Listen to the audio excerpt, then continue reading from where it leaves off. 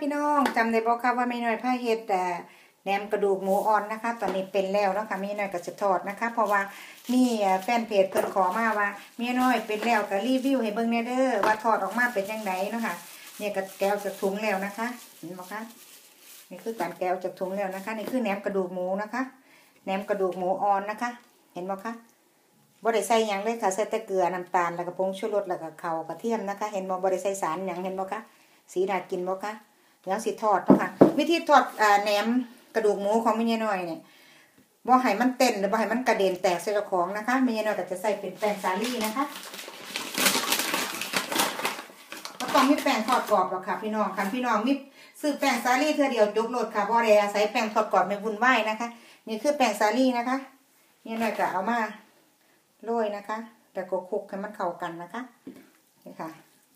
ใช้แค่นี้แหละค่ะใช้ซอนเดียวนะคะ ถ้าใส่หน่อยใส่หลายก็อยู่ที่ปริมาณของพี่น้องเนาะค่ะว่าพี่น้องอะเฮ็ดแหนมเนี่ยหน่อยหรือหลายปานใดเนาะค่ะวันนี้ไม่แน่กะเฮ็ดประมาณนี้แหละค่ะเฮ็ดจำนี่แหละสิเป็นกับแกมเนาะค่ะมันนี้ไปเทิมแล้วกะสิดื่มแบบสบายอารมณ์เลยจักหน่อย เมื่อยสมองกับเมื่อยพี่น้องมื้อนี้เฮ็ดการบ้านไว้ก่อนเนาะค่ะที่จริงเขาให้การบ้านสำหรับ3อาทิตย์เนาะค่ะมีหน่อยก็เต้ามือเดียวแล้วเลยเนาะค่ะเหลือแต่เหลืออีกอันเดียวคือ การเขียนไดอารี่ต้องบันทึกประจำวันทุกวันนะคะ อันนั้นจังไว้เฮ็ดทุกมือเนาะค่ะ แต่อันส่วนอื่นๆนี่มีหน่อยเฮ็ดไปหมดแล้วนะคะ เนี่ยเสร็จแล้วค่ะเดี๋ยวเราจะไปทอดกันนะคะ มันห่อนแล้วนะคะเราก็จะใส่ลงไปนะคะแหนมหมูเราที่คลุกกับอ่าที่เราคลุกกับแป้งสาลีไว้นะคะเราก็จะทอดนะคะ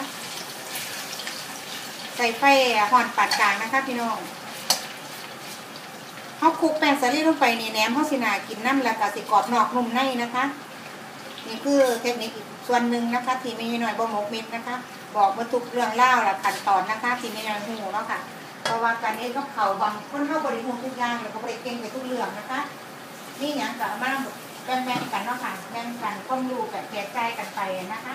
เพราะว่ามีน้อยหูนี่ยังกับบอกพี่น้องหมดทุกอย่างนะคะถ้าพี่น้องนี่ยังที่สิแนะนำเคล็ดลับหรือว่าข้อมูลดีๆที่ไม่น้อยยังบ่หูนะคะอ่า เม้นไปข้างล่างคลิปนะคะ ไม่ใช่หน่อยอ่านอ่านเกือบทุกคลิปนะคะ นอกจากถ้าเป็นถ้าเน็ตบอดีอีลีนี่คืออ่านบ่เห็นแล้วก็ก็สามารถสิตอบได้เนาะค่ะอันนี้พี่น้องก็ต้องเข้าใจนะคะ แต่ว่าโดยส่วนมากแล้วเก้าสิบเปอร์เซ็นที่ไม่หน่อยตอบเกือบทุกคนนะคะเก้าสิบเปอร์เซ็นเลยนะคะที่ตอบคอมเมนต์นะคะบ่ได้บ่ได้ว่าเออผู้นั้นฮักผู้นี้สร้างผู้นั้นฮักผู้นั้นนะบ่ตอบผู้นี้บ่แม่นนะคะ ทุกคอมเมนต์ไม่หน่อยจะพยายามมาตอบกับทุกคอมเมนต์นะคะ แล้วก็สำหรับผู้ใดที่ว่ามีเทคนิคดีๆ หรือว่ามีความรู้ดีๆในการเฮ็ดกับเขาหรือว่ามีอหยังดีๆแนะนำเมียหน่อยนะคะแล้วก็เมียหน่อยจะได้มาเฮ็ดให้ผู้พี่น้องเบิ่งเนาะค่ะบางที่เฮาคนเดียวก็บ่สามารถสิฮู้ไปทุกเรื่องนะคะพี่น้องมีหยังก็มาแบ่งมาแชร์ทางด้านความรู้สึกความความรู้สึกความรู้สาระดีๆนะคะ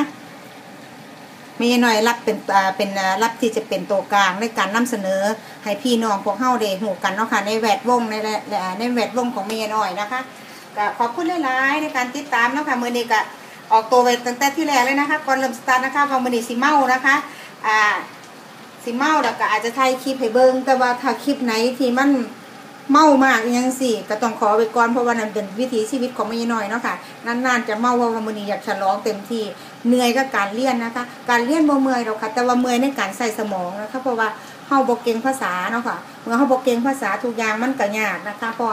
มันต้องเปิดเบิ่งคำศัพท์บางที่คำศัพท์ใน Google หรือในหนังสือแปลศัพท์นี่บางคำก็บ่ตรงกับจุดประสงค์ที่เขาให้มาเหมือนกันนะคะ อันนี้ก็เป็นหนึ่งการบอกเล่านะคะ เดี๋ยวเฮามารอให้มันสุกก่อนแล้วแม่เดี๋ยวแม่หน่อยให้เบิ่งต่อมันเหลืองนะคะ มันใช้เวลาโดนนะคะ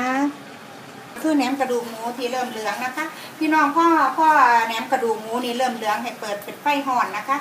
ตอนเริ่มทอดนี่ใส่เป็นไฟกลางจักหน้อยเนาะค่ะเพราะว่ายันยันเนื้อบ่สุกนะคะถ้าใส่ไฟห่อนที่แรกเลยนี่มันสิใหม่ก่อนสุกนะคะพอเขาได้ไฟกลางแล้วพออ่าเริ่มเหลืองแล้วเห็นไหมคะเขาก็เริ่มไฟไฟไฟห่อนเลยนะคะ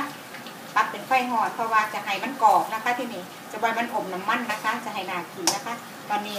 หมูสุกแล้วเขาแค่เอาเอาเหลืองเอาสีสันมันนะคะเห็นไหมคะ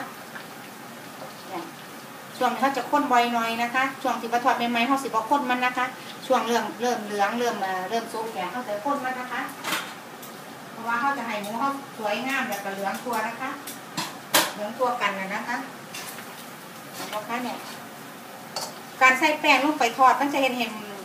แหนมเข้านากินนะคะแล้วก็อีกอย่างหนึ่งกับซอยกรอบนอกนุ่มในซอยบ่ให้มันกระเด็นนะคะบ่ให้มันกระเด็นโปกปักโปกปักใส่เฮาวเพราะว่าการทอดกระดูกเนี่ยเป็นเรื่องธรรมดาอยู่แล้วค่ะพี่น้องแต่ทอดกระดูกหรือว่าทอดหนาหมูที่มีหนังเนี่ยรับรองว่าแตกใส่เฮาวแน่นอน แต่เฮาวใส่แป้งอะคลุกลงไปก่อนแล้วค่อยเอาลงไปทอดเนี่ยมันจะซอยได้มากเลยเห็นบ่บ่ามีแตกบ่มีหยังเห็นบ่พี่น้องเห็นบ่คะบ่แตกปุ๊บปุ๊บปกปักนะคะ ช่วงนี้ก็ใกล้จะพ่อแล้วนะคะเพราะว่ามีหน่อยจะบ่ทอดให้มันเหลืองหลายนะคะเพราะมันจะแข็งเกินถ้าเราทอดเหลืองหลายมันจะแข็งแล้วมันจะหยำยากเพราะค่ะเพราะอันนี้มีกระดูกอ่อนน้ำนะคะ มันจะเห็นให้กระดูกแข็งไปน้ำนะคะ เอาทอดประมาณปานกลางนะคะจากนั้นมีหน่อยก็จะปิดไฟแล้วก็จะตักใส่จานพี่น้องเบิ้งเนาะค่ะเขาก็ทอดเรียบร้อยแล้วนะคะเพื่อความอ่าหอมแล้วก็ความหนากินเขาจะโรยกระเทียมเจียวลงไปนะคะเห็นไหมคะโรยกระเทียมเจียวลงไปแล้วก็จะใส่พริกนะคะลงไป เพิ่มความแซ่บนะคะ เพราะว่าแหนมนี่จะเข้ากันมากเลยกับอ่าอ่าพริกทอดนะคะ เนี่ยค่ะ พี่น้องเข้ามาเบิ่งกันใกล้ๆนะคะ เห็นบ่คะนี่คือแหนมกระดูกหมูที่ไม่ในซ้อนไปแล้วนะคะลงคลิปเบิ่งแล้วนะคะ พี่น้องที่เขามาเบิ่งที่หลังยังโบเห็นนะคะให้รีบกลับไปเบิ่งนะคะวางประมาณสองสามมือที่ผ่านมานะคะมีหน่อยให้ได้เบิ่งนะคะ เดี๋ยวเฮามาชิมกันจ้าอ่าเฮากับมาชิมกันนะคะสำหรับแหนมกระดูกหมูอ่อนนะคะ อืมผัดกระนั่งจำจำนี่กระนั่งพอดีนะคะ พี่น้องเนี่ยไม่ใช่หน่อยเดี๋ยวสามมือนะคะ มันเป็นไวเพราะว่ามันแดดแล้วก็มันห่อน เวลาเขาเฮ็ดแล้วใส่ถุงเสร็จ หากระป๋องมาใส่ปิดฝาไว้นะคะ ไว้นอกตู้เย็นนะคะ ถ้าผู้ได้มาส่งกับประมาณสี่มือหรือหามือขึ้นอยู่น้ำอากาศเนาะค่ะ อืม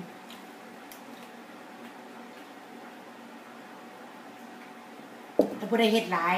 ถ้าผู้ใดเฮ็ดหลายเป็นแล้วนะคะ เอาใส่ของฟิตได้นะคะเวลาสิกินก็เอาออกมาให้มันละลายได้จังทอดนะคะ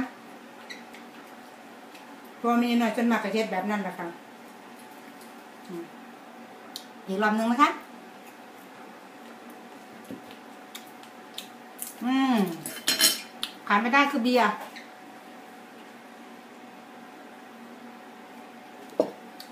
รับประกันความแซ่บและความอร่อยนะคะ อันนี้ก็รีวิวใหายแล้วนะคะสำหรับแฟนเพจที่ขอมานะคะได้รักจากใจนะจ๊ะนะคะจุ๊บจุ๊บ